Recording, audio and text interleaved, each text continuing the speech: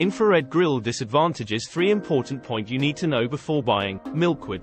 Don't forget to subscribe to our channel. Although an infrared grill has the potential to improve your steak cooking skills, most people believe that's all it can do. The grill can be tough to grasp when it comes to the time-temperature relationship because of the insanely high temperatures it can attain. As a result, delicately cooked meals like fish and vegetables cannot be cooked on an infrared grill. Traditionally, infrared grills were developed for commercial kitchens to provide an efficient and consistent grilling surface for steaks and other foods.